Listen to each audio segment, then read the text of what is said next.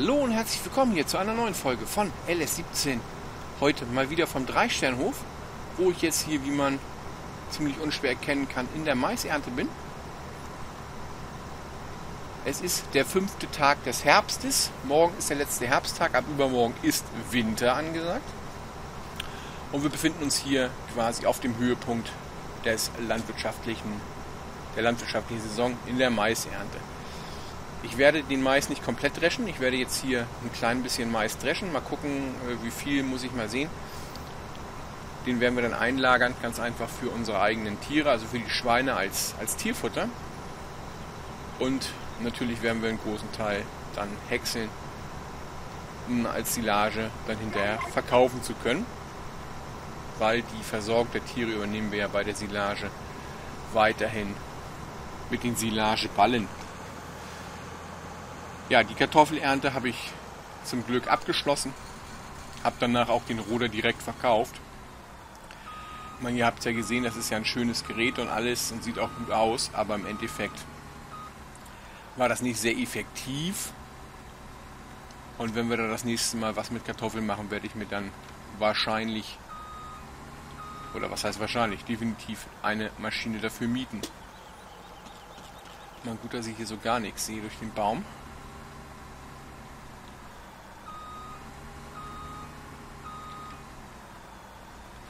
So.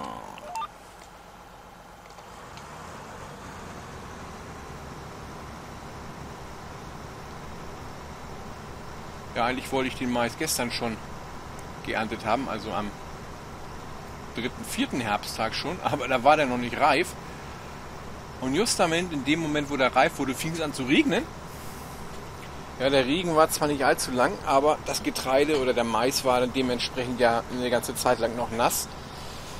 Und dann wollte ich den noch nicht ernten und bin deswegen so klein, ja, unter Druck kann man jetzt noch nicht sagen. Ne? Es ist wie gesagt der fünfte Herbsttag, im Moment ist noch wieder kein Regen angesagt, der kommt morgen wieder. Also den Mais kriegen wir jetzt auf jeden Fall locker runter. Und ich hoffe ja, dass wir noch dieses Jahr einen Herbstschnitt mit Gras hinbekommen, dass wir noch ein paar Silageballen machen können. Damit wir auf jeden Fall gut über den Winter kommen. Aber das werden wir sehen.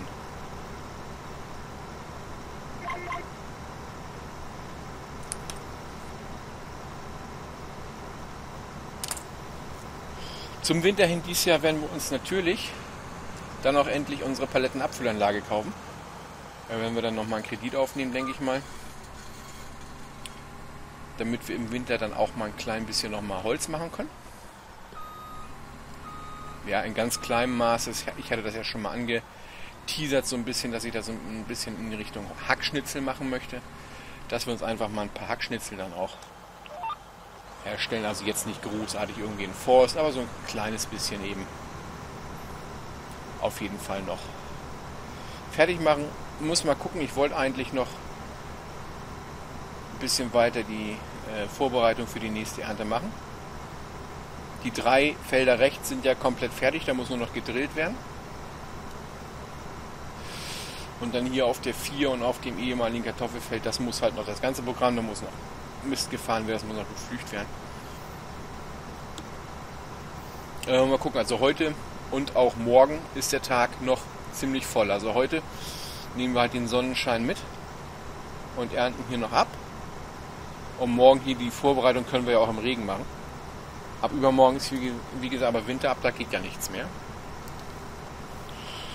Und da verdingen wir uns dann so ein kleines bisschen halt im, im Forst und so. Ich muss gucken, wie lange die Silage braucht, bis fertig ist, ob wir die diesen Winter schon, schon abpacken können und verkaufen können oder ob das erst im nächsten Jahr geht. Aber das werden wir alles gewahr. Wir haben auch noch genug Silageballen da. Ich hoffe, wie gesagt, dass wir heute Abend oder vielleicht morgen noch so, wenn es dann morgen, es ist ja für morgen nochmal Regen angesagt, wenn das so wieder ist wie heute, dass das dann vielleicht wieder so um 15, 16 Uhr, wie ihr oben an der Zeit seht, es ist 20 nach 3, der Regen ging irgendwann bis, boah, was wird es gewesen sein, 10? Also es hatte pünktlich um halb sechs, sechs angefangen zu regnen. Dann hat es vier Stunden geregnet. Und dann war das so ab zehn bis ja, Viertel nach drei, drei Viertel nach drei hat es dann gebraucht, bis das Getreide abgetrocknet war.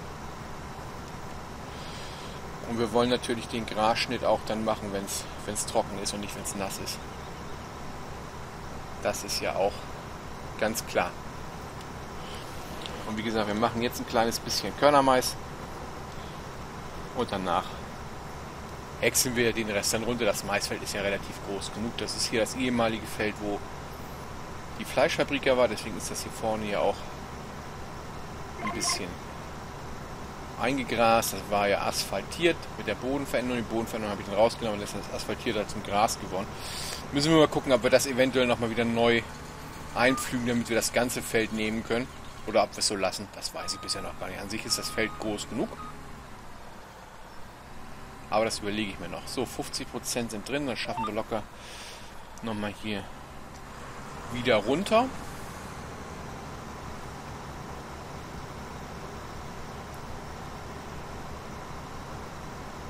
Und ich denke mal, ein Drescher voll müsste noch erstmal reichen.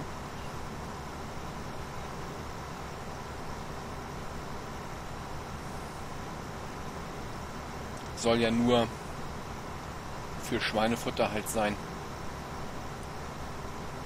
Und in den Drescher gehen ja ungefähr, ja, wenn ich das jetzt so abschätze, 6000 werden da reingehen. 6, 6, 5. Keine Ahnung. Dann reicht das für die Schweine, die wir haben, auf jeden Fall erstmal aus. So viele Schweine haben wir ja nicht. Wir lassen den Drescher hier auf jeden Fall aber nochmal stehen. Und das kann ich dann kurzfristig nochmal abschätzen, wenn wir angefangen haben zu häckseln. Wie viel das dann im Endeffekt noch ist.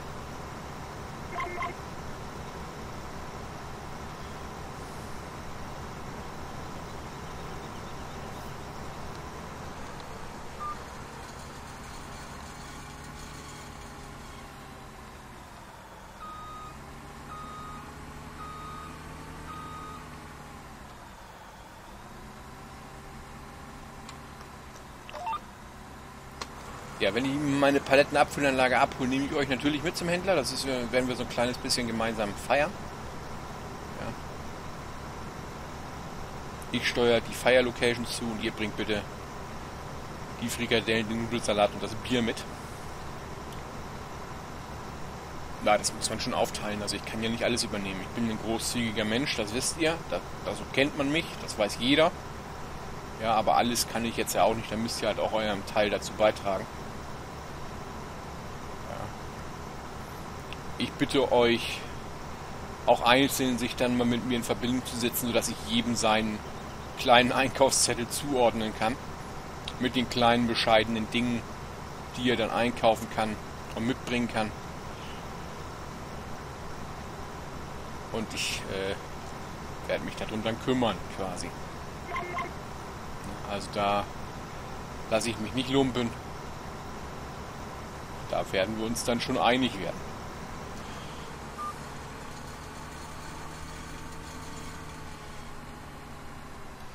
So, dann noch einmal auf die letzte Bahn.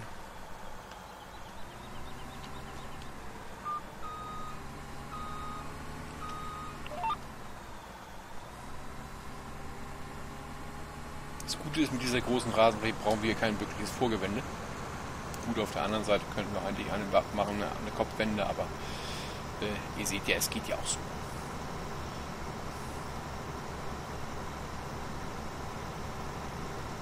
So, ich denke noch einmal runter, einmal hoch, dann müssten wir das haben mit dem Körnermais. Werden wir auf jeden Fall noch machen. Gucken, wie viel jetzt noch reingeht. Wenn es nicht ganz voll wird, machen wir die Bahn auf jeden Fall fertig, sodass wir einen sauber, sauberen Übergang haben zum Häckseln. Dann gleich.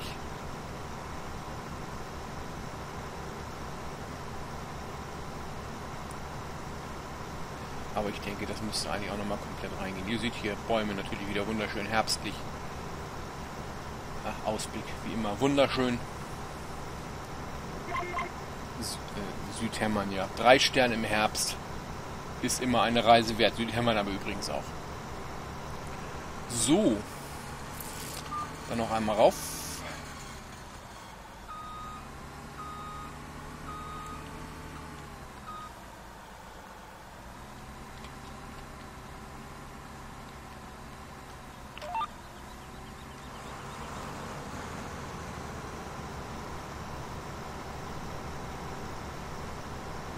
Mal gucken, ob wir nochmal komplett drauf kommen. Das könnte doch äh, so ganz knapp knapp werden.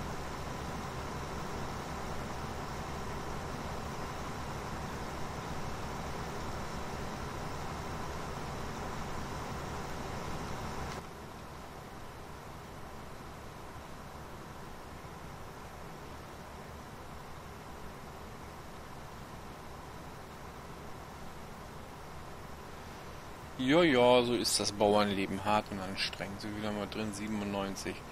Na, ganz bis zum Ende kommen wir nicht mehr. Dann halten wir hier schon mal an. Fahren mal das Röhrchen schon mal aus. Das sieht man jetzt von hier aus nicht. So, und dann holen wir mal eben den Trecker.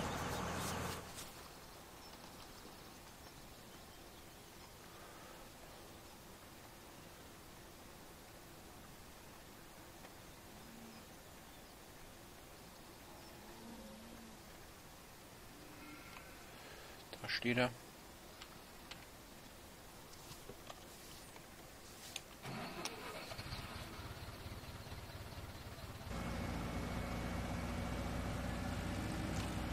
Dieses sah mit dem aus. Ah, muss nicht repariert werden. Den Drescher musste ich logischerweise einmal eben kurz warten und reparieren. Der ist ja wie gesagt ein Jahr lang halt gestanden. Und da ist das ja ganz klar dass es dann auch mal gemacht werden muss.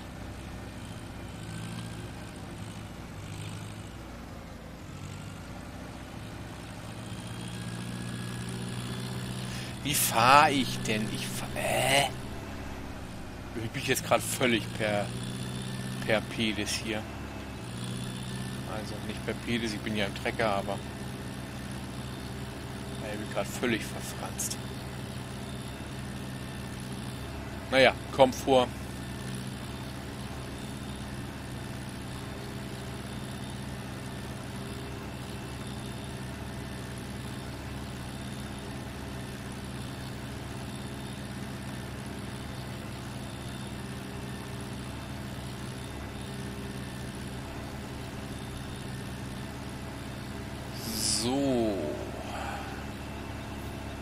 Dann holen wir uns hier eben ab.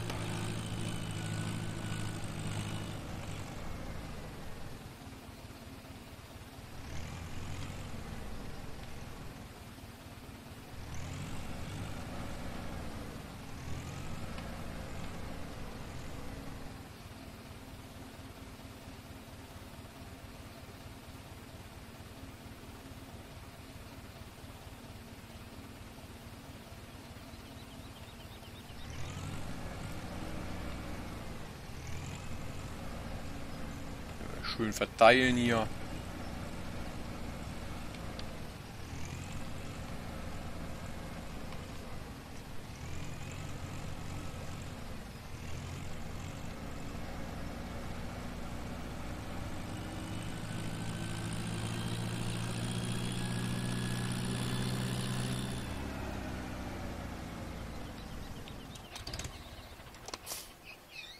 So.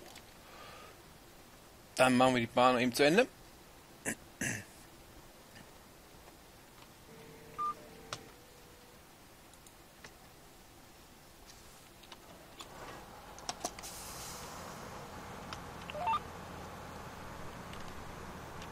Angeschaltet, ja. so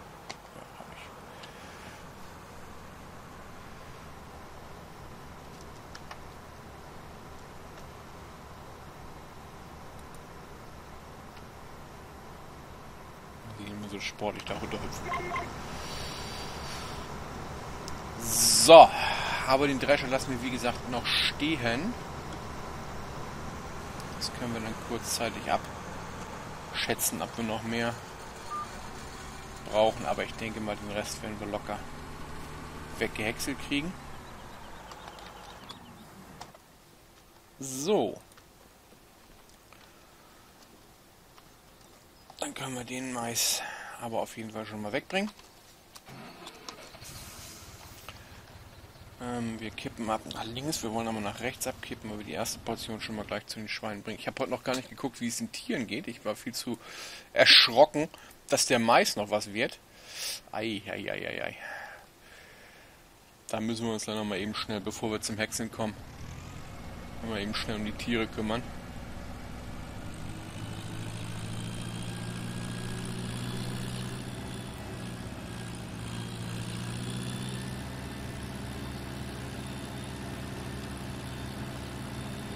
Das hilft ja alles nichts.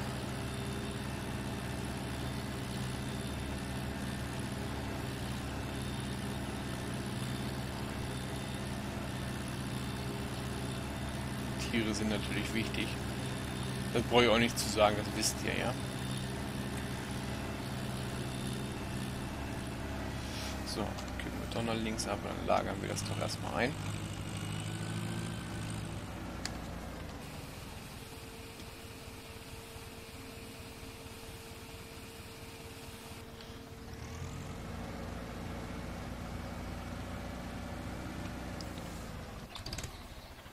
So. Dann mal eben schnell ein klein bisschen um die Tiere gekümmert. Äh.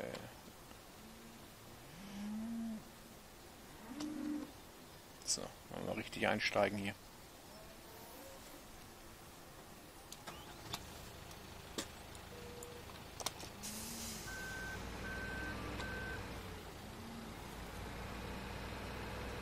Der Futtergang sieht auch aus, ne?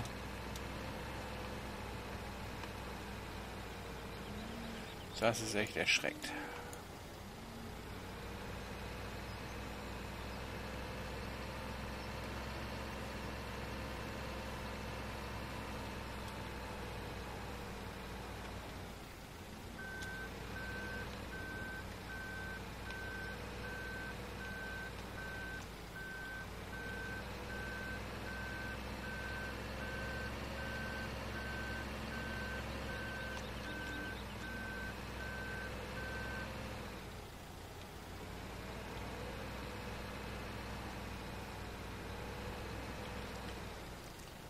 So, das war erstmal die Kühe, die jetzt sauber sind. Ja, Mietz. Feine Mietzekatze.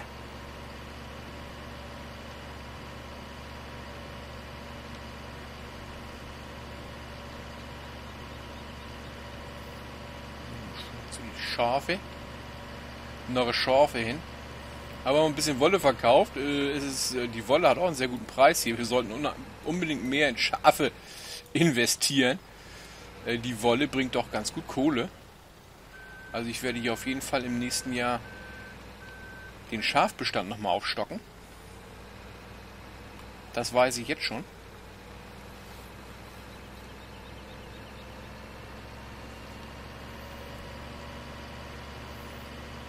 So. Dann gucken wir nochmal nach den Schweinchen.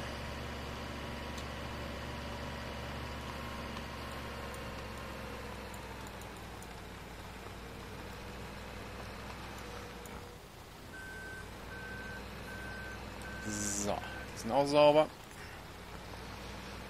Alles klar.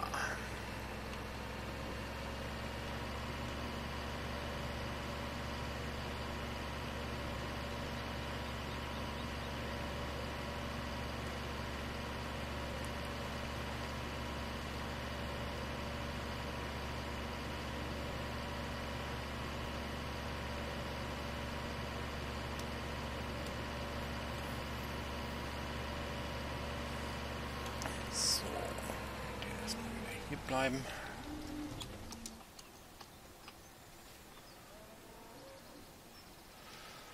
So, was fehlt jetzt noch akut? Ähm, ein bisschen Gras einfüllen. Da müssen wir vom Hexen die Reifen nochmal umziehen. Da brauchen wir keine Pflegebereifung mehr.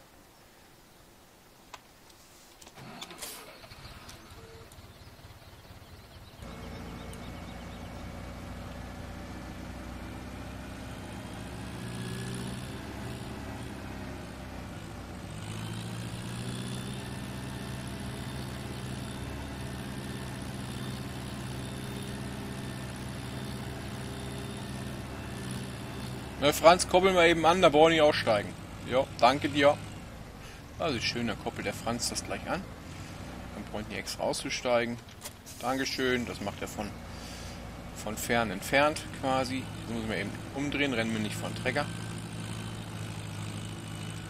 So, ich denke mal, bei den Schafen wird nicht ganz so viel an Gras reingehen.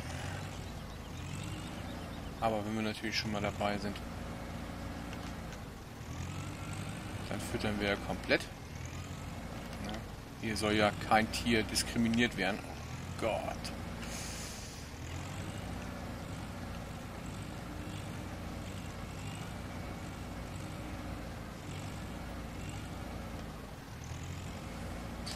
Heute ist es aber auch mal wieder durchwachsen, ne?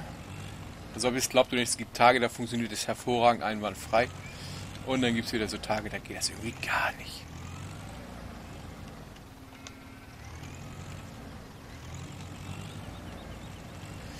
Bitte halt auch immer zu bedenken, dass ich Tastaturspieler bin. Das ist keine Ausrede, das ist eine Tatsache. So, da ging wirklich nicht allzu viel, da ging gar nichts rein. Ne, aber Wasser muss dringend hin. Wasser müssen wir gleich nochmal eben fahren.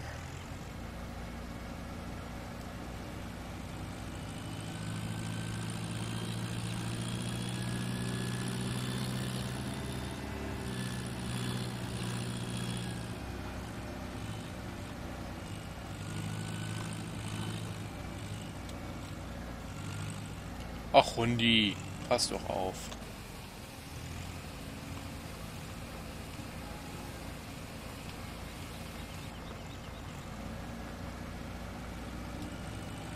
Ich dran denken, dass ich nur Kollisionskamera hier rein, reingenommen habe. Das heißt, ich muss schon immer so ein bisschen anscrollen auch, um das dann richtig zu erwischen.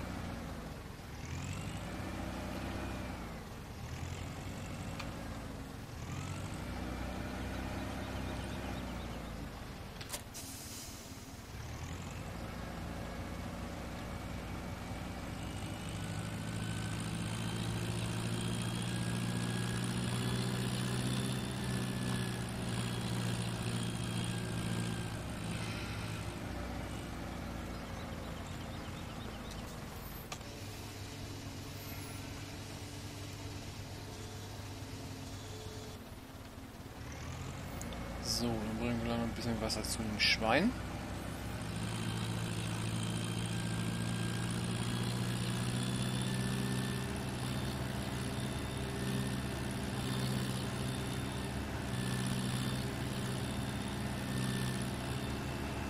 Da wird auch nicht allzu viel reingehen, weil so viel Spanne haben wir ja aktuell nicht. Halt alles das, was Manfred mit gerade noch so ein bisschen verarbeiten kann für sein hervorragendes 3 Stern Met.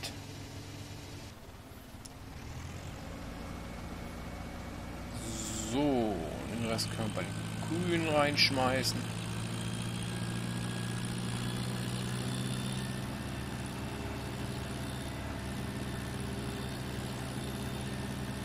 Ihr seht auch für Samstag und Sonntag an beiden Tagen direkt Schneefall angekündigt.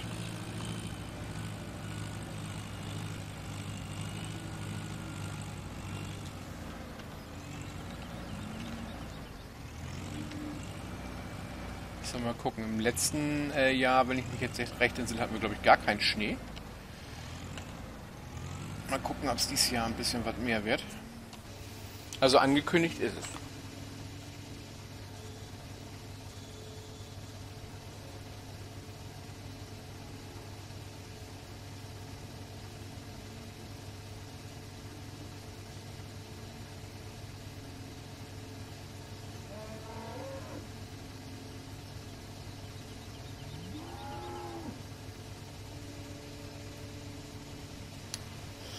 So, ja, die Kühe sind natürlich ein bisschen durstiger.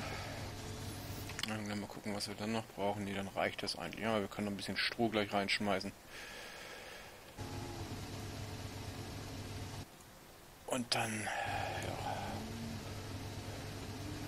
den hier komplett leer, dann reicht das. Geht das Wasser überhaupt noch komplett rein? Nee, natürlich nicht. Ach, dafür ist das hier schon wieder saudreckig. Das hat ja nicht lange gehalten, ne?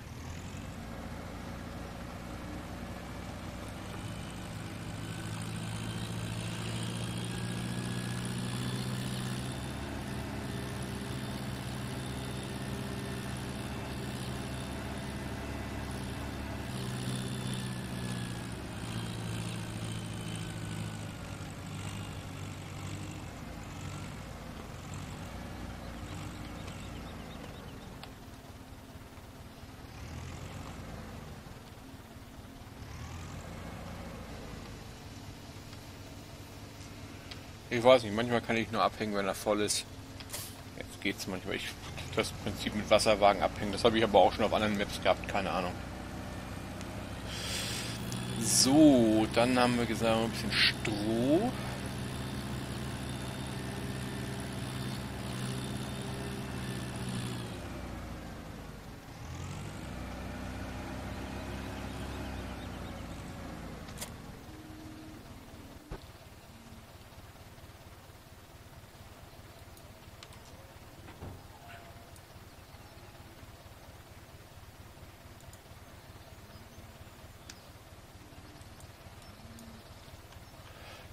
Sechs Ballen werden wir nehmen. Äh. Ach, egal. Nein, oh. ja, natürlich. Manchmal, egal. Da gibt es die größte Mühe, wir haben jetzt 1, 2, 3, 4, 5, da gibt es die größte Mühe, das irgendwo zu stapeln.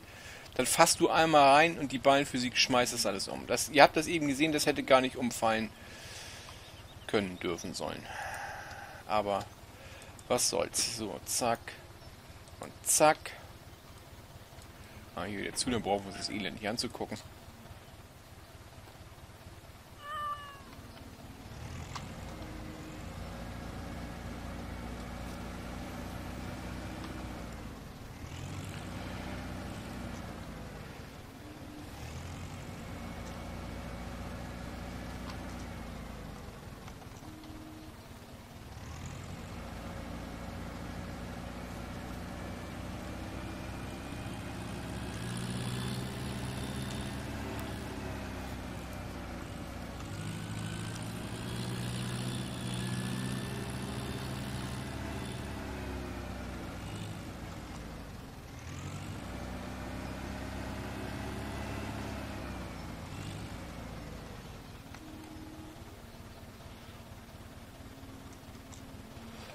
War noch entladen?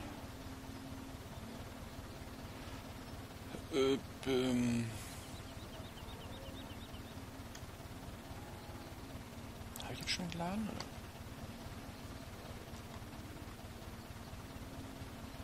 B, ja, meine ich doch. Nee, ich will ja, nee, gar nicht B. Ich will ja auf der Plattform entladen. Aktuell Auflieger. Z war doch Z, hatte ich doch richtig gedrückt. Ja, ich, äh, irgendwann merke ich mir die Tastenkombination auch nochmal, hoffe ich. Aber ihr wisst ja, ab einem gewissen Alter ist das alles nicht mehr so.